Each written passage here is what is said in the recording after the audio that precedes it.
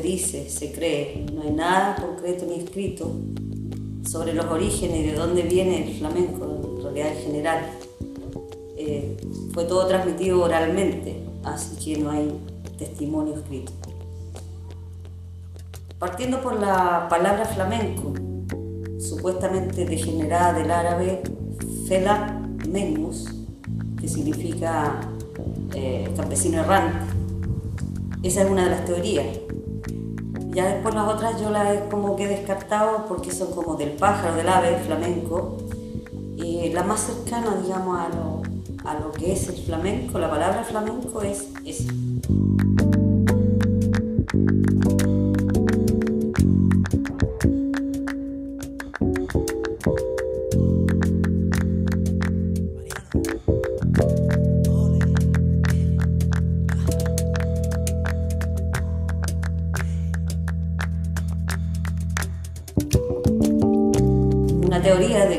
Flamenco viene de la India, de África, de, Israel o de Jerusalén. Nada está claro. Lo que sí, por las investigaciones que he hecho, eh, los gitanos más antiguos son los cíngaros, que son los errantes.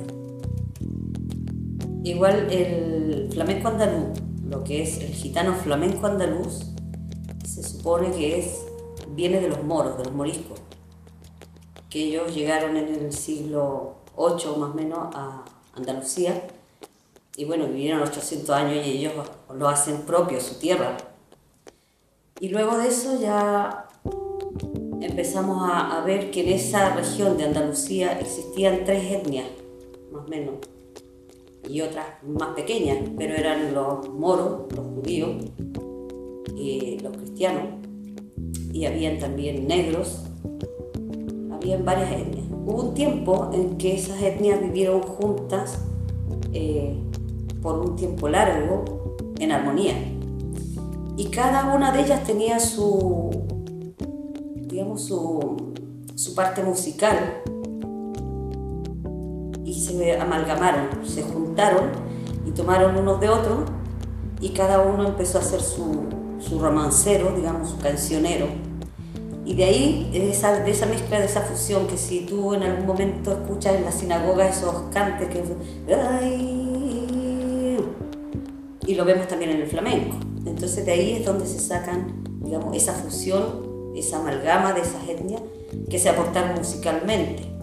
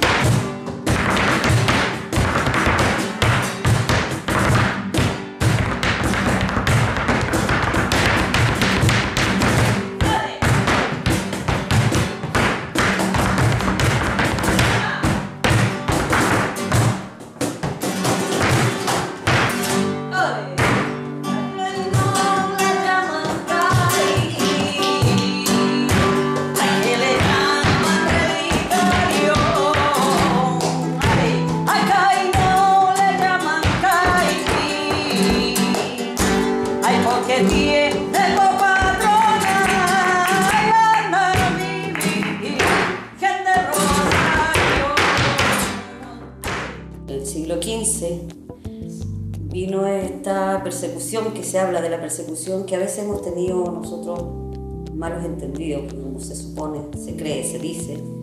No está claro cómo fue, pero la mayor matanza que hubo en esa persecución fue de los judíos, más que de los moros. Pero lo interesante de esto es cuando expulsan a los moros y como ellos lo tenían asentado en sus vidas como por generaciones, que era su tierra, con Isabel la Católica y Fernando, que en Medina del Campo firmaron la ley, la, ley de, expulsión de los gitanos y que tenían, se les cortaban las orejas si lo encontraban, tenían que renunciar a su, raza, tenían que renunciar a su religión, a su forma de vida.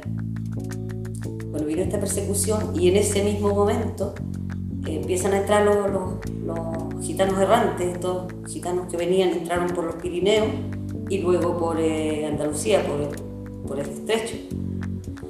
Entonces, los moros que no, querían salir de sus tierras volvieron, entre comillas, camuflados con estos gitanos, otra vez a arraigarse en sus tierras.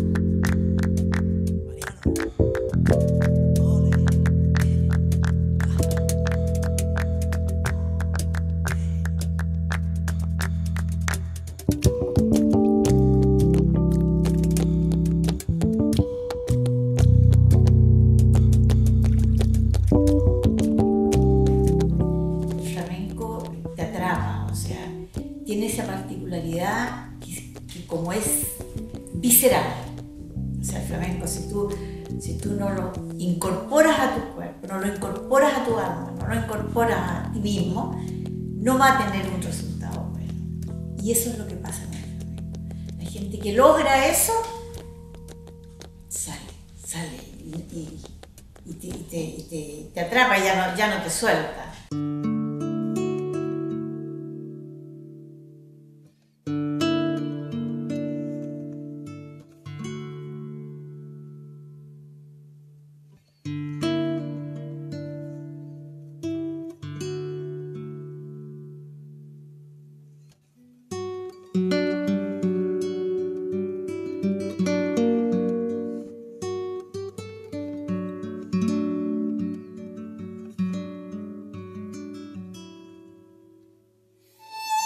Somos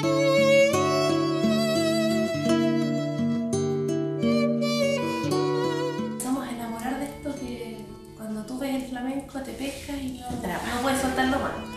Entonces ahí empezamos nosotros a armar un grupo, a hacer cosas en, con música en vivo, de a poquitito. Y yo creo que ahí paso a paso hemos tratado de ir evolucionando y ir incorporando lo que más podemos. Encuentro Nacional de Flamenco. Nosotros este encuentro lo iniciamos en el año 2003. Eh, yo pensé que esto haría bien, verse y, y por último ver, lo estoy haciendo Encontrarse, fue claro, la- más que nada. Era como encontrarse y verse todo. Así que así nació la idea y, y Hierba Brava se le, se le colocó porque el flamenco siempre surge, siempre nace, siempre, aunque lo aplasten, siempre va. El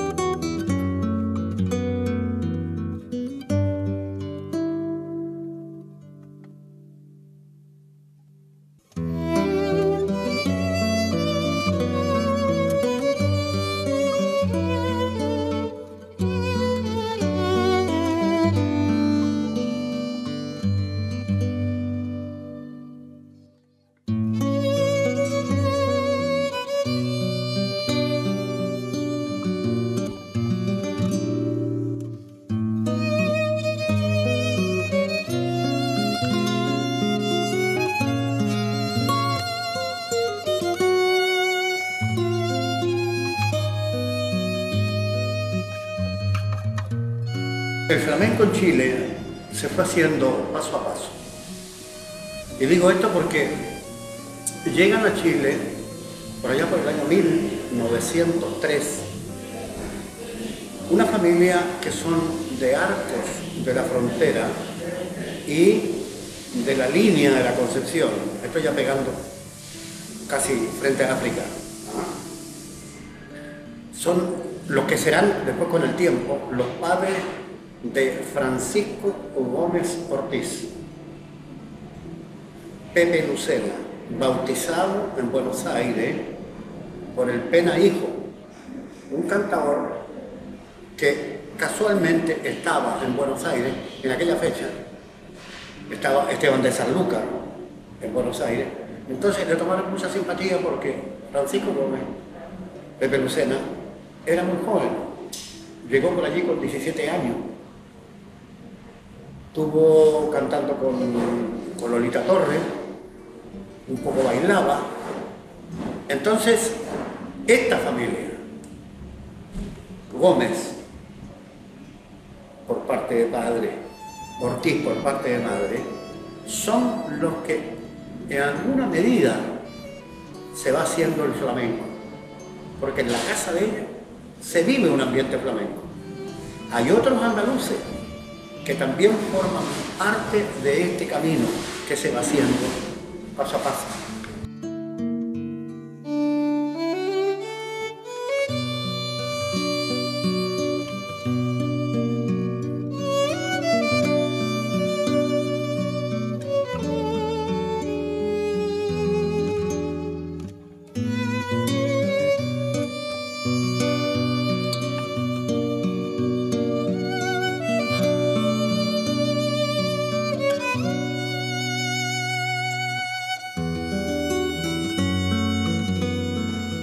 Flamenco en Valparaíso no hay, definitivamente. No hay flamenco. Yo trato de que haya flamenco y trato de hacer una academia que la gente aprenda de verdad flamenco, no solo a escribirlo y a jactarse. No hay guitarristas, punto uno. Flamenco sin guitarristas. No hay gente que cante flamenco. No hay cantadores No hay gente que toque buen cajón flamenco, ni siquiera. No hay flamenco. Academia de flamenco es la mía.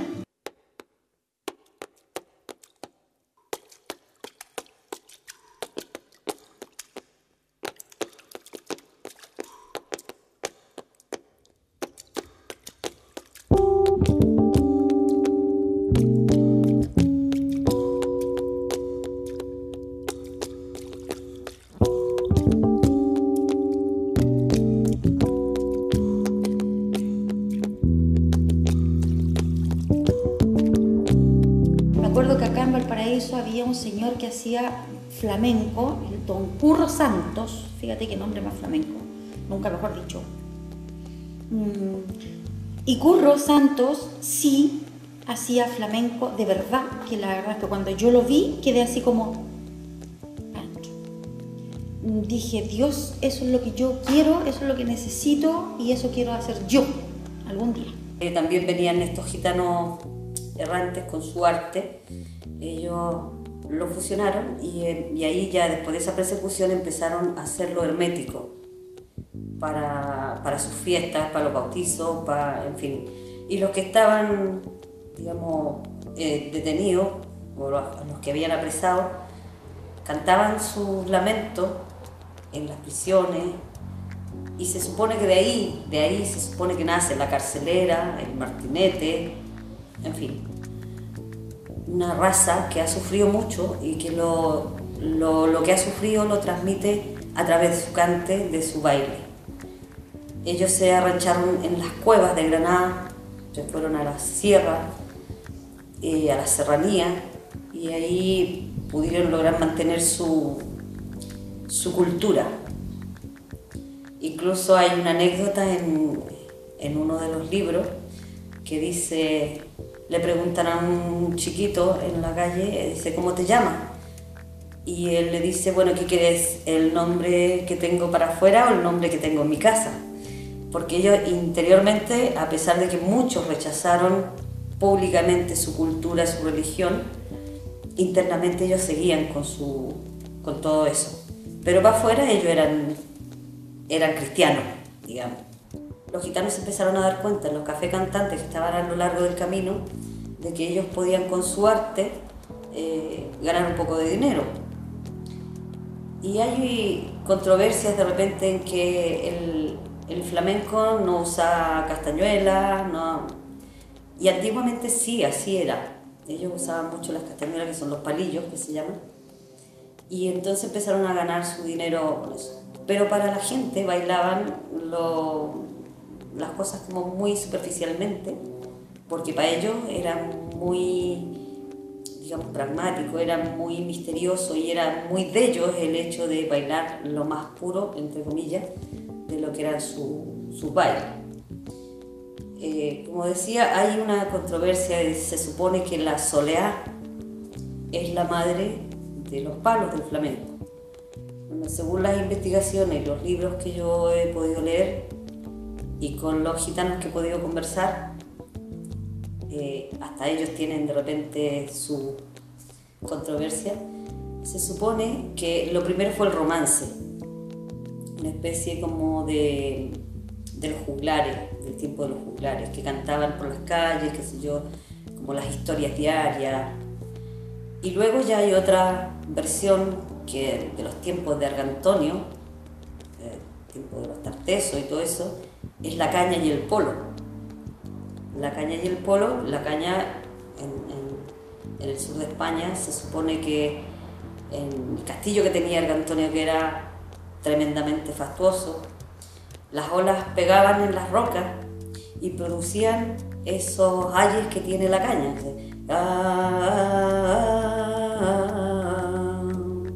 Y más las cañas que estaban en la, en la sierra.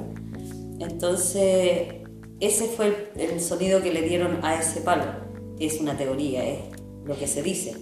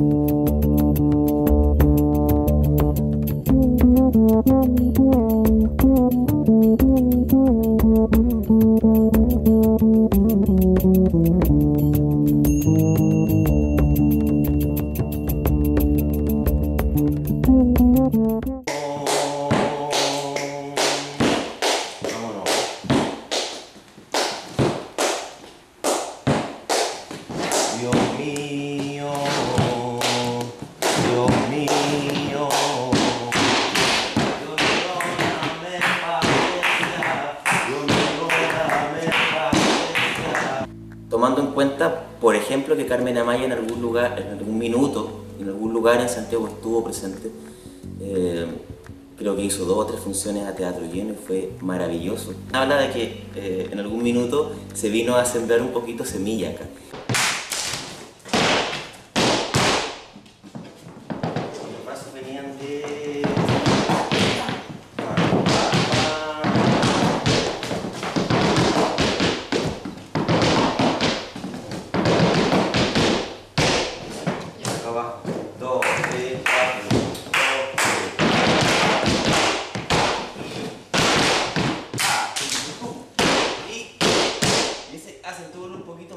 Eh, yo encuentro y soy un, convencido de que acá se han dado pasos gigantes a partir de, de hace unos 7, 6 años atrás en la evolución que hemos tenido como formadores, como profesionales, como bailadores en general.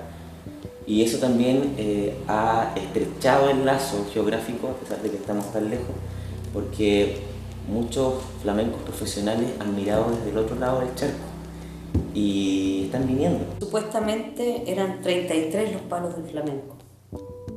Y ya ahora actualmente serían como 80 y algo, porque están estas mezclas que, que se baila sola populería, que se baila cañipolo o policaña, que se baila de repente alegrías por eh, bulería, pero en el fondo el baile de ellos, en general, lo más tradicional, lo más primitivo, era la soleá es soleá, la caña es caña, eh, la bulería es bulería, el tango es tango y así. Entonces estos, estos palos antes se bailaban y se cantaban sin guitarra. La, la guitarra es muy contemporánea, llegó aproximadamente en el año 1773 y ya al incorporarse la guitarra ya empezó a tomar un poco más de profesionalismo, por decirlo de alguna forma, el flamenco como arte ya hacia afuera. Eso es más o menos lo, lo, que se sabe de la guitarra, de la llegada de la guitarra, que aportó bastante. Profesores de guitarra flamenca en Chile fue Carlos Lederman, es él, Carlos Lederman.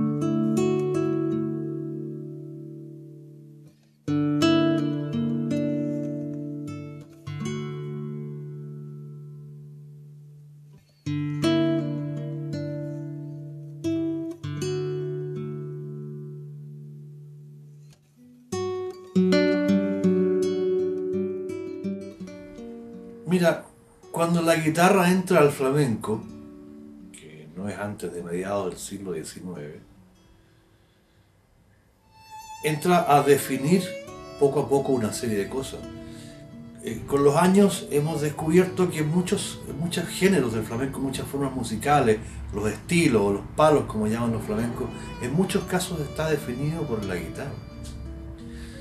Yo te diría, claro, estoy barriendo para mi casa porque yo soy guitarrista. Pero yo te diría que, claro, aquí podría haber estado, a- aquí lo que llegó fue la guitarra, podría haber llegado el violonchelo, era más, era más improbable. O hubiera llegado el piano, que ahora está, pero no fue lo primero que hubo, a lo mejor el flamenco sería distinto.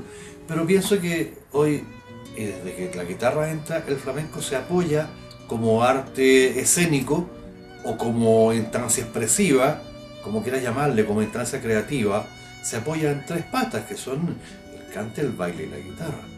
Ahora, ¿cuál ha sido el aporte? Es que, es que yo creo que es tan fundamental como que tú puedes cantar mucho rato por tonás, por martinete, carcelera, puedes hacer muchos cantes sin guitarra, pero no puedes hacer un concierto solamente con esos cantes. No puedes. La guitarra es el elemento rítmico, armónico, absolutamente imprescindible. Tam- bien tú puedes bailar sin la guitarra. Lo han hecho pocos, los más audaces, los, que, los más talentosos, qué sé yo. Pero tampoco puedes hacer una presentación en que la guitarra no exista. Podría ser que exista otro instrumento, que lo estén haciendo con una orquesta o con violonchelo y cajones, eso se puede hacer. Pero quiero decirte, la guitarra me parece a mí que es, es, eh, es absolutamente imprescindible, de manera que ya no es que sea un aporte, es, que, es que es uno de los tres elementos, sin desconocer que desde los años 50 en adelante, tal vez antes, porque Montoya ya había hecho unos conciertos en la Sala Pleyel de París allá por 1920, si no me equivoco, un poquito antes, incluso tal vez un año, unos años después, pero estamos hablando del comienzo del siglo XX. Pero digo, los guitarristas, los concertistas de guitarra flamenca, porque el flamenco antes que nada es música, y esto yo lo recalco mucho, si no tienes música, ¿qué vas a bailar? Y el cante es música, y la guitarra es música. Entonces los concertistas de guitarra flamenca, los que empiezan a tocar en solitario bien, con, con música bien creada, bien hilvanada, bien conceptualizada y bien desarrollada, empiezan a viajar por el mundo y llega un punto en que hoy yo sé que mucha gente me va a odiar por esto que voy a decir. La verdad es que no duermo igual de bien con la idea. Pero hoy la guitarra puede ir sola y es en sí misma el flamenco. Pues tú, puedes sentar a un señor que toca bien hay una hora y media en un escenario a tocar la guitarra flamenca y ese es un hecho flamenco en sí mismo. Irrefutable. Irrefutable. Entonces la guitarra sí está acompañando al cante y está acompañando al baile, pero puede prescindir de ello. De lo que no estoy tan seguro es que ellos puedan presentarse la guitarra. Así que imagínate si será un aporte. Imagínate si tienen una, labor fundamental. Los buenos acompañantes son imprescindibles. Pero los buenos solistas son tan imprescindibles como los buenos acompañantes, porque ellos son los que llevan la música. Usted decía hace unos minutos que el flamenco define de pronto muchos estilos como decía el maestro Sanlúcar, a ver quién es el guapito que toca por talante en una tonalidad que no sea fa sostenido.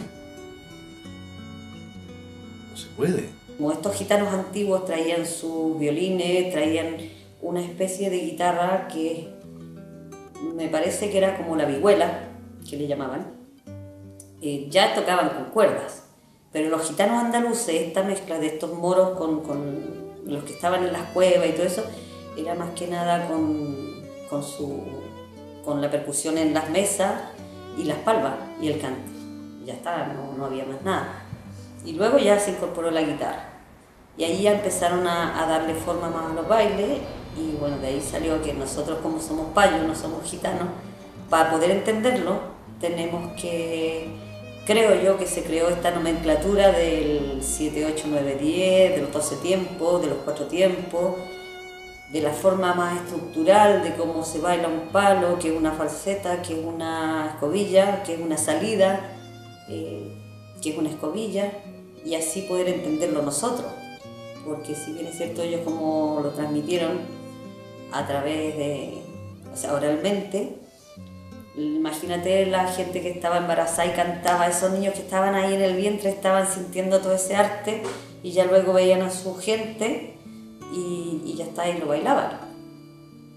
Y estos cantes, eh, para mí personalmente, esta es una opinión muy personal, eh, era hermoso y es que yo no lo, no lo encasillo en lo que es danza. Para mí el flamenco no es una danza, sino que es un estilo de vida, es una cultura.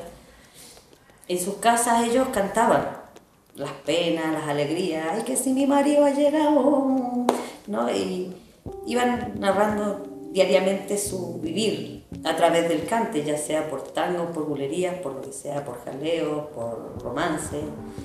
Y eso eh, para mí me da esa idea de que no es una danza, sino que es una cultura. No está estructurada, el flamenco es libre, es visceral, es personal. Unos refugiados en un barco que fue fletado por el gobierno de Chile desde Francia, el Winnipeg, Llega por allá, por allá, 40. Entre ellos vienen más o menos 2.000 españoles. Y entre estos españoles vienen andaluces.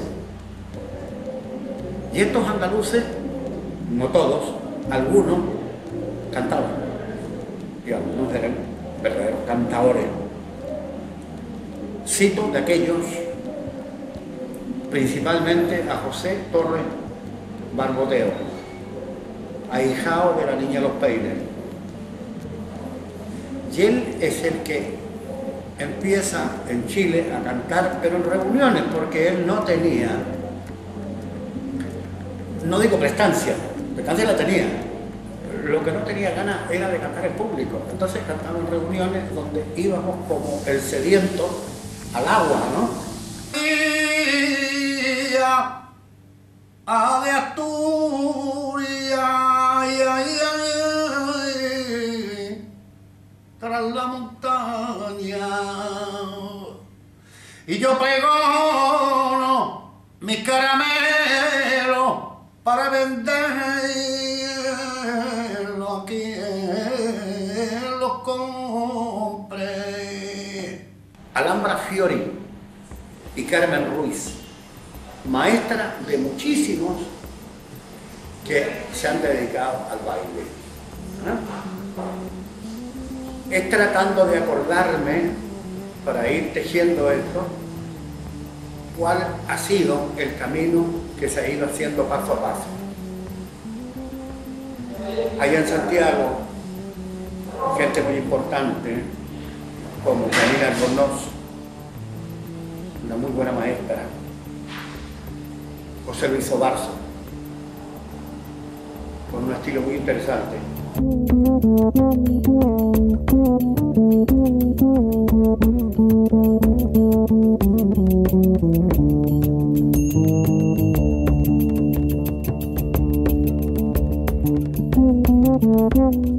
Flamenco en Chile, yo te dije, es, es contemporáneo. ¿En qué sentido? hablemos de 30 años aproximadamente. Hubo gente buena que intentó enseñar flamenco en Chile y no dio resultado. En esa época estaban las academias de danza española o de regional. El flamenco no se enseñaba en Chile. Hubo un señor que se llamaba Miguel Jordán que intentó enseñar flamenco. Pero tú sabes que para enseñar flamenco tienes que tener una cierta pedagogía. Tienes que usar números, tienes que usar pedagogía, tienes que usar muchas cosas. Yo me fui a estudiar primero a Argentina, porque en Argentina hay más cultura en flamenco. Y me enseñaron la base del la base del. Pero yo quise ir más lejos y me fui a España fue la primera persona que empezó a enseñar el flamenco con pedagogía.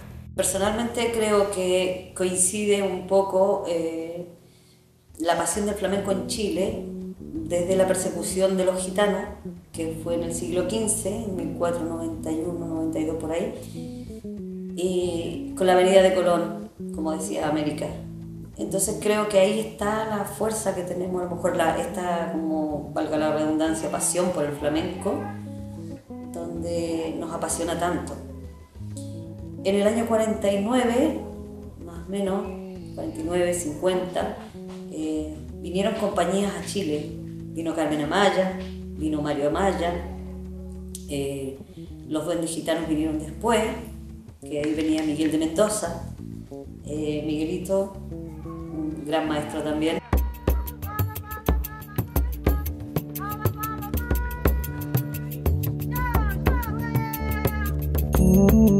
Chile, país muy acogedor, me cogieron muy bien cuando fui. estuve de regreso de la gira de Centroamérica con Pepe Alonso y su flamenco espectacular.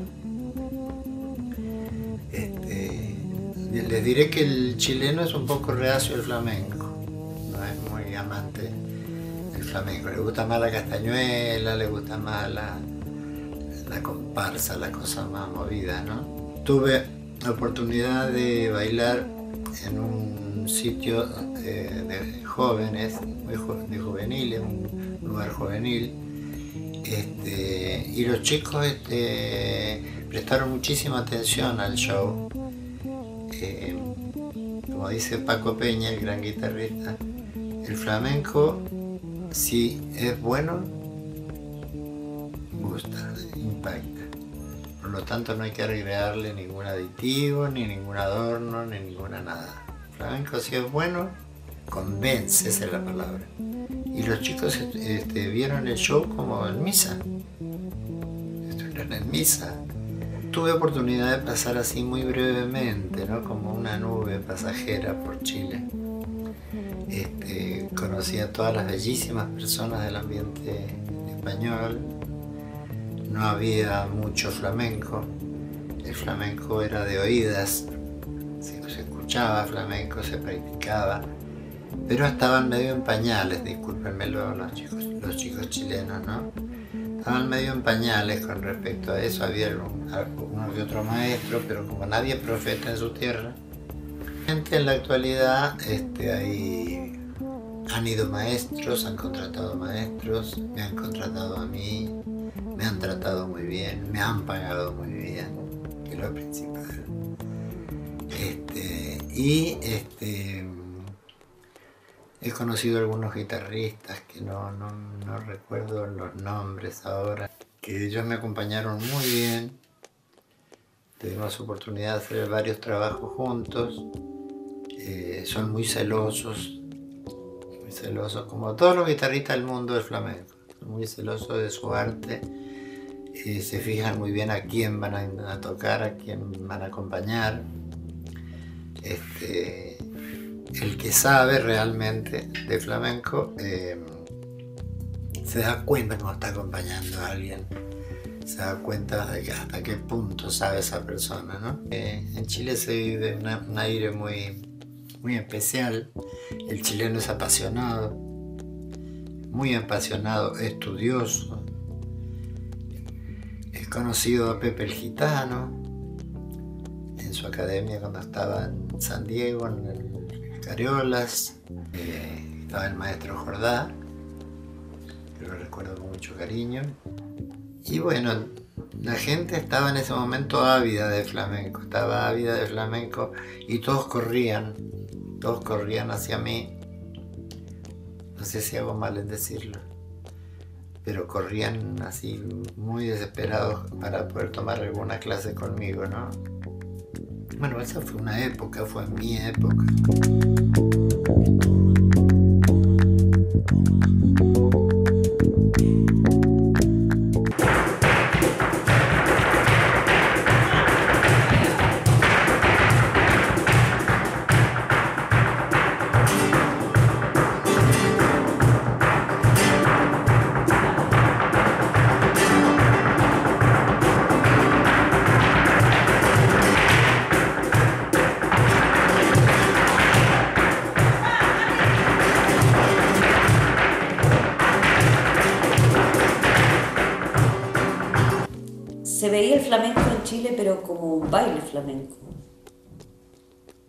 Entonces, eh, generalmente acá en Chile había clásico español, que es muy diferente a lo que es el flamenco. Una de las pioneras, de los pioneros que llegaron a Chile con el clásico español fueron la señora Alhambra Fiori y Jesús López. Estas compañías que venían, en la cual también en una de ellas vino don Miguel Jordá Padre, traían un poco de, flamenco. Carmen Amaya, sabemos todos que era una flamenca, pero increíble. Y ahí empezó esta investigación y empezó estas ganas de aprender flamenco.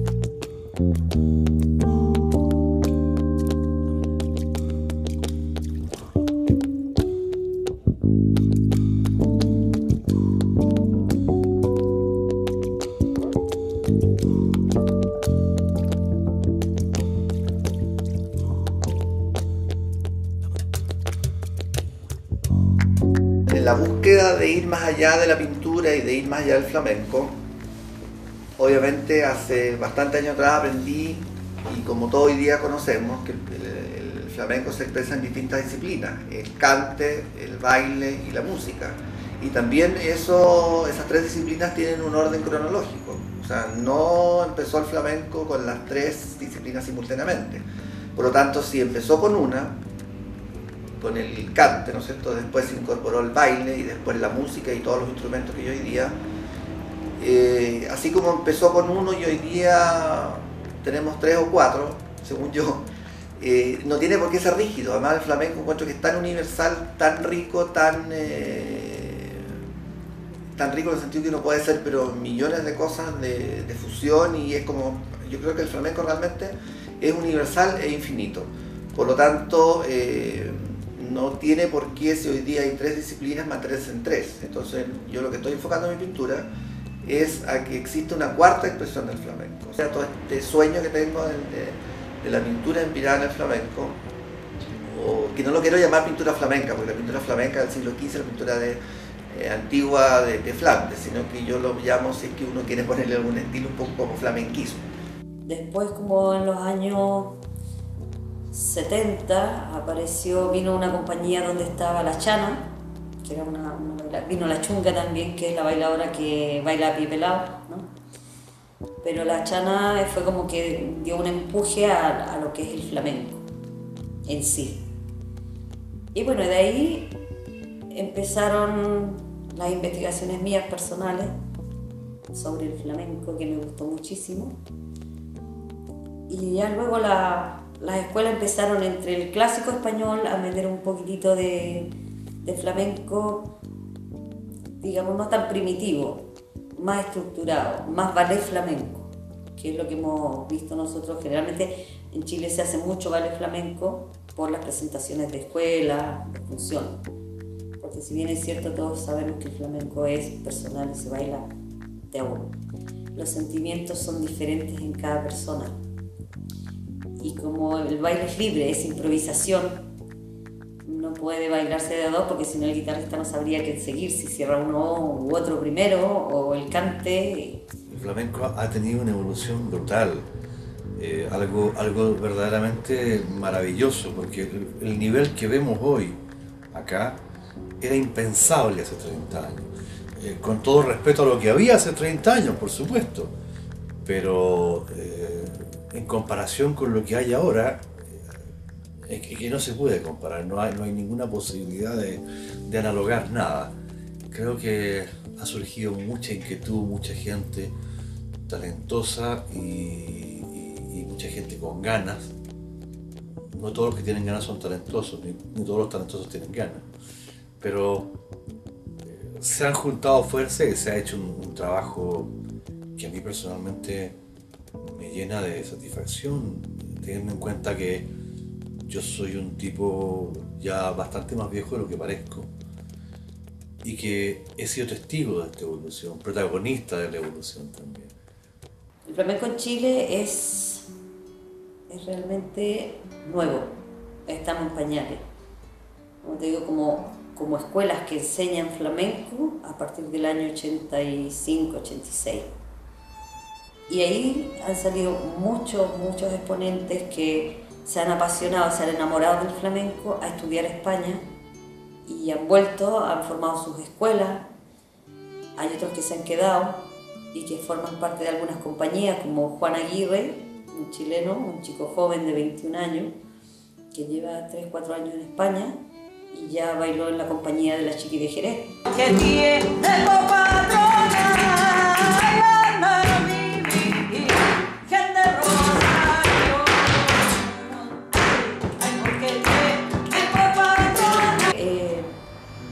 Chile habemos muchos que estamos tratando de, hacer flamenco, un buen flamenco, pero para mí los maestros están al otro lado del charco.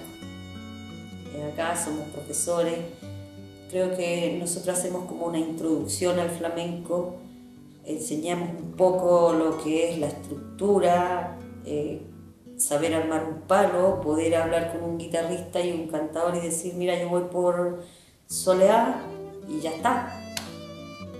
Porque eso lo demás, uno baila la letra, la improvisa y el resto eh, pasa entre esta triada que se llama cante, guitarra, baile.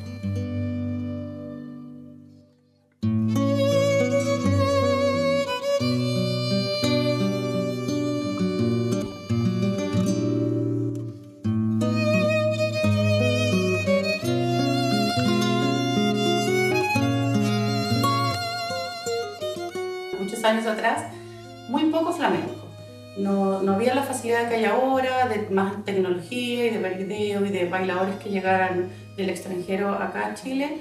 Eh, teníamos, podría mencionar a Paco Mairén en esos años, que yo era muy pequeña, que mi mamá tomaba clases con él y bailaba con él, y, pero era poquísimo, y más trabajábamos en la escuela bolera, algunas danzas flamencas, pero clásicas flamencas, hasta más o menos el año 70 y tanto, 80, que ahí más o menos ya entonces empiezan a venir un poquito más el flamencos acá a Chile y uno tiene un poquito más de contactos, poder tomar algún curso y perfeccionarse. Eh, luego después, eh, más o menos como en el año 90 y algo, eh, el, el flamenco, por lo menos acá en mi caso, eh, me posesiona. Yo parto en él acercándome a la escuela de, de clásico español primero y de escuela bolera que tenía mi suegra, eh, Mary Ann Garlic, ese era su nombre, la mamá de Kenny. Así parto yo acercándome a lo que es la danza española primero y luego derivo a que es flamenco.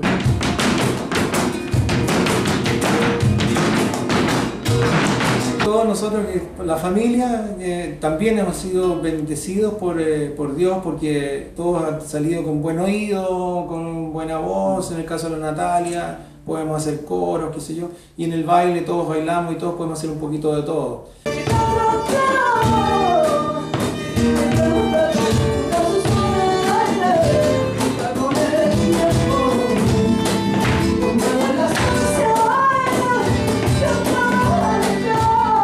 en Chile eh, es primero de una data no muy hacia atrás, ¿no? O sea, estamos hablando de más o menos 25 años, donde el flamenco comienza a, a- tomar fuerza.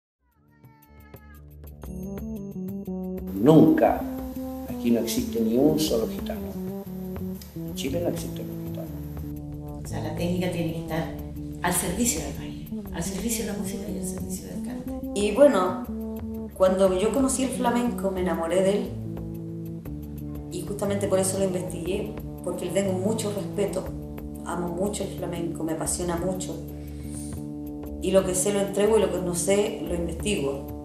El flamenco tiene momentos, pero para eso hay que saber de flamenco. Tiene momentos. El arte es cosa de contraste y el flamenco es un arte. Y el flamenco antes que nada es música. Y la música tiene que tener contrastes para que, para que se justifique, para que se, se defina a sí misma. Sentimos flamencos chilenos, estamos entregando eh, una visión del flamenco que es del sur, que no tiene por qué ser necesariamente eh, algo tan copiado de allá. O sea, las copias yo creo que para ninguna circunstancia en la vida sirven. Eh, yo creo que lo que hay que tratar de hacer es eh, adquirir el conocimiento, adquirir los recursos, adquirir la experiencia sobre todo, y tratar de transmitirlo desde el punto de vista de habitantes de Latinoamérica, ¿ya? de habitantes del sur del mundo que queremos entregar con mucho amor lo que hacemos y el sentimiento es la base de esto. A pesar de que estamos tan lejos, es una vivencia y eso es lo que queremos transmitir. Parrilla viene a Chile, siguiendo a una musa. Y a Parrilla lo tenemos después aquí en esta ciudad, aquí frente a nosotros, el Centro Español, en el teatro, dando un recital y acompañando a quien les habla. El flamenco se ha ido haciendo paso a paso, pero también de la mano de Dios, que fue poniendo a uno, a otro en el camino, cosa que me está ocurriendo en este momento, y hemos ido tejiendo una historia de flamenco en